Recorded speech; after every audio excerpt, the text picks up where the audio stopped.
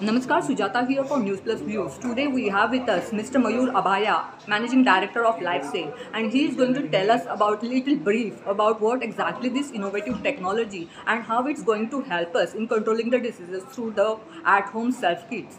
Sir, Mayur Abhaya, sir. Today at LifeCell, we are launching self-collection healthcare kits.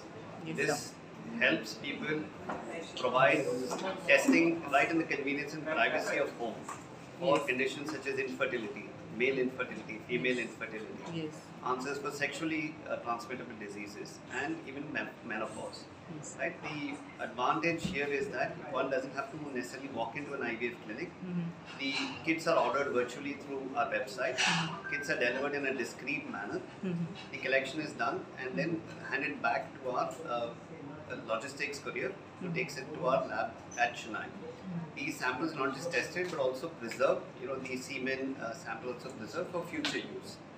And the reports are very easy to understand, and we have a network of virtual and uh, physical uh, labs where we can provide them consultations with doctors to take up the next steps.